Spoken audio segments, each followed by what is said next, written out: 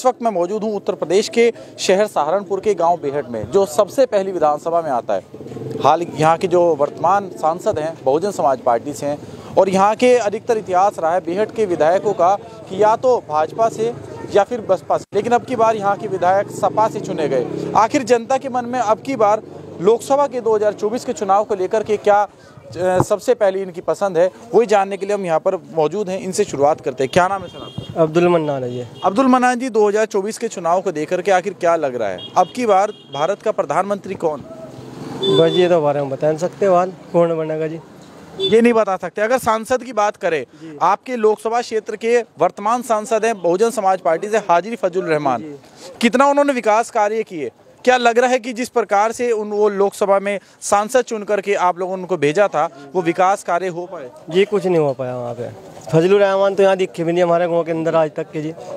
फजलुर रहमान तो है भी नहीं आज तक हमारे गाँव के अंदर। जी।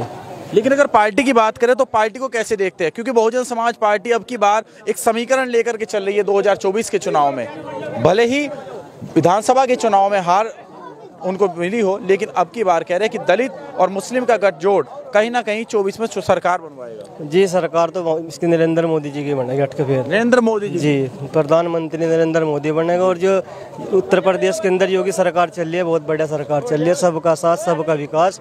और सबका सम्मान चाहे वो हिंदू मुसलमान हो, सबको बराबर लेकर चलती है सरकार। आखिर आपने कहा कि प्रधानमंत्री मोदी जी बनेंगे। अगर पाँच वर्ष का दस वर्ष का कार्यकाल पूरा होगा उनका आखिर क्या उनके अंदर खूबियाँ दिखी? हाँ जी खूबियाँ बहुत है। नरेंद्र मोदी के अंदर जो गरीब जो आवास हो ये प्रधानमंत्री क्या नाम इसका यो कोटे वाली बात हो जी सब सबका काम करते हैं जो यानी कि प्रधानमंत्री आवास योजना से और कोटे से जनता कहीं ना कहीं संतुष्ट है। हाँ जी वो अपने अपने ऊपर डिपेंड करता है सर सबकी बात है देखो। लेकिन वो जैसे विपक्ष लगातार आरोप लगा रहा है कह रहा है कि राहुल गांधी से डर गए प्रधानमंत्री इसलिए उनकी सदस्यता भी खत्म कर दी। हाँ जी नहीं ये तो बेकार की बात करते हैं विपक्ष तो भोग ला गया जिस टाइम नरेंद्र मोदी का प्रभाव बहुत बढ़िया है जी प्रधानमंत्री बेहतरीन है।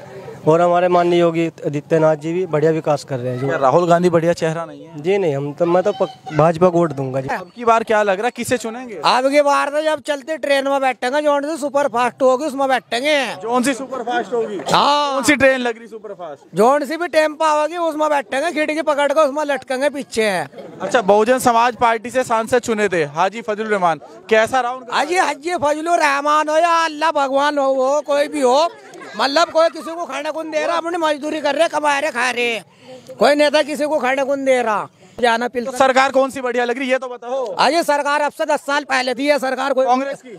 हाँ कांग्रेस की सरकार थी जो थी। लग रहा है अब की बार राहुल गांधी आ जाएँगे? हाँ अब तो लेकर आवांगे हम राहुल गांधी को लेके आएँगे। आपका क्या नाम? है मेरा नाम नसीब है। क्या लग रहा है जी राहुल गांधी आप आएँगे? जिस हिसाब से भैया कह रहे हैं। आइए आवागा आओगा और क्या भाई? आओगा। अच्छा अगर यहाँ की लोकसभा की अगर बात करें यहाँ से सांसद हैं यहाँ से सांसद हाजी फजल रहमान है। कार्यकाल उनका कैसा रहा? बीजेपी जीतती है भाई यहाँ तक। बीजेपी? कारण क्या है? भाई काम दान बढ़िया कर रही बीजेपी सरकार। अच्छा क्या काम बढ़िया? गुंडागर्दी खत्म होगी सारी बात यहाँ। गुंडागर्दी खत्म होगी सरकार में। रात को कहीं भी जा सकते कोई डर नहीं है। जब जी सारी विकास कार्यों की बात करें तो और भी बहुत चेहरे हैं क्योंकि अब तो अखिलेश यादव भी है प्रधानमंत्री की रेस में मायावती जी भी है। सारी बात यहाँ भाई गुंडागर्दी खत्म होगी इस सरकार में। कहीं को भी जा सकते हैं जब कोई डर नहीं रहा। पहले डरता अब डर नहीं है। आखिर पहले क्या डर था बस। गुंडागर्दी थी पहले ही था। गुंडागर्दी का डर था। जी। तो चेहरे तो और भी ममता बनर्जी भी हैं केजरीवाल जी भी हैं अखिलेश यादव भी हैं मायावती भी हैं।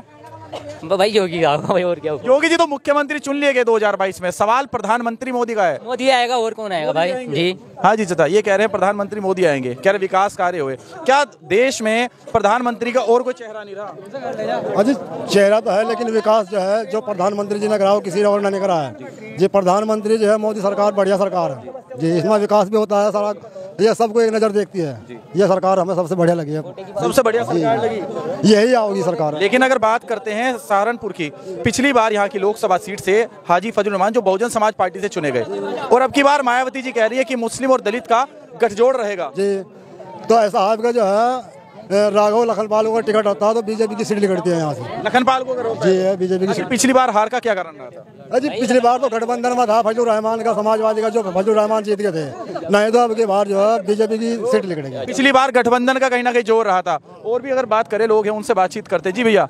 क्या बात? आप तो चलते क्या लग क्या नाम है? अजय मोहम्मद फैजान जी। जी? मोहम्मद फैजान। क्या लग रहा है आपकी बात? चुनाव नज़दीक। मोदी और योगी आओगे जी। मोदी और योगी। अच्छा मोदी योगी क्यों आएँगे अजय आओगे वही आओगे। कारण क्या है? जी खुश है उनसे दुनिया। दुनिया खुश है? जी। लेकिन अखिलेश यादव तो नाराज़ है। अजय वो विपक्ष नाराज़ वो पड़े हुए जी कोई हाँ जी। के मुसलमानों ने एक डब्बा वोट दिया है समाजवादी सरकार को। बनी समाजवादी सरकार। तो जब हमें वोट देने देना भाजपा को नहीं वोट देंगे खुले सही है गलत है। सबका साथ सबका विकास। नरेंद्र मोदी जी आएँगे और नरेंद्र मोदी जी आएँगे तो भोख ले रहे विपक्ष वाले सारे के सारे। लेकिन अब की बार विपक्ष ये कह रहा है कि सभी एकजुट हो जाओ क्योंकि भाजपा को बात तो सुनो। ये हम दस भाई खड़े हैं। अगर एकजुट है हमारी एक घरवाली हैगी यो कहेगा मैं रखूँ से यो कहेगा मैं रखूँ से। इसी मारो एक बनाओ ना नरेंद्र मोदी साहब को। नरेंद्र मोदी साहब प्रधानमंत्री बनेंगे और हमारे जो मुख्यमंत्री योगी आदित्यनाथ जी बढ़िया विकास करे सबका साथ सबका विकास। यानी कहीं ना कहीं नाराज़गी एक जनता के बीच में भ्रम ये भी है कि अगर विपक्ष सारा एक हो गया तो प्रधानमंत्री कौन बने प्रधानमंत्री का चेहरा कौन है? जी ये बताएँ प्रधानमंत्री का चेहरा। आपको क्या लग रहा है भैया? प्रधानमंत्री अखिलेश यादव बन जा। अखिलेश यादव। जी। लेकिन अखिलेश यादव कह रहे हैं कि मुस्लिमों का जो गठबंधन है मेरे साथ है और जो मायावती जी हैं वो कह रहे हैं कि मुस्लिम और दलित मेरे साथ है। आखिर मुस्लिम किधर है? अरे मायावती तो खत्म है उसका एक विधायक हुआ ने इतने बड़े राज्य में। शहर में पिछली बार तो आपने यहाँ के एमपी साहब को चुन के भेजा बसपा से। जी। अब को फिर यहाँ पे बस पाई जी जा। हाजी जी आएँगे नहीं अब की बार? जी इमरान मसूद जी जगह इमरान मसूद? हाँ। हाजी फजल रहमान आ सकते ना इसका उसे नहीं मिलता अब टिकट।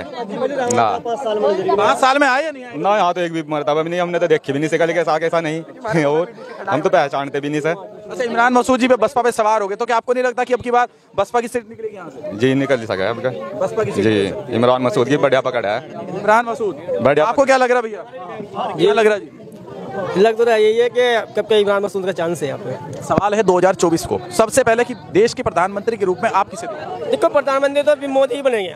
मोदी ये तो चांस है। आखिर क्या कारण रहेगा? कारण ये है कि सबको अपना काम भी मिल रहा है और ये प्रधानमंत्री अच्छे हैं। और कोई देखो जो कार्यकर्ता ये तो लड़ाई दंगा करते देखो सरकार तो ये नहीं कहती तो हम लड़ाई दंगा करो। लड़े दंगा भी बंद है बिल्कुल। बिल्कुल ये भ्रष्टाचार सब खत्म है ये। और रोड पे सब सुख शांति सबसे सब अच्छा है कोई दिक्कत नहीं है। हर जगह पुलिस मिलती है।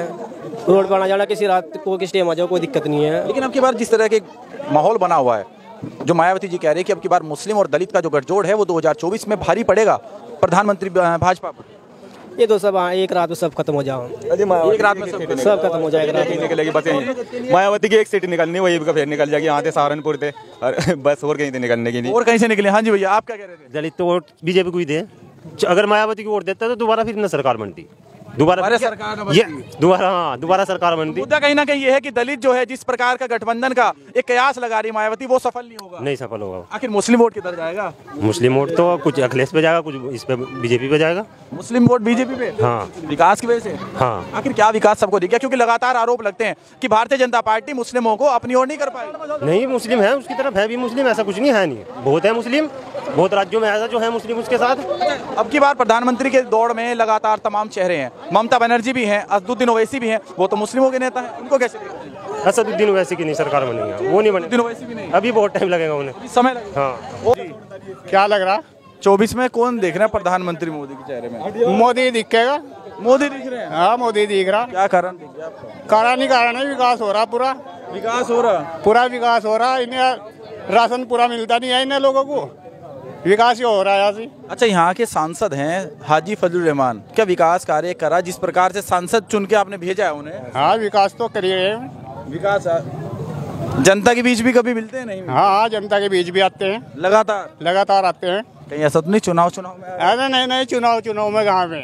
चुनाव के बिना भी आते हैं। आते हैं। अच्छा राघव लखन पाल शर्मा की अगर बात करें जो निवर्तमान सांसद हैं उनको कैसे देखते हैं उन्हें भी अच्छी तरह देखते हैं। लग रहा है कि वो भाजपा से? हाँ भाजपा से आएँगे। चौबीस में भी आएँगे।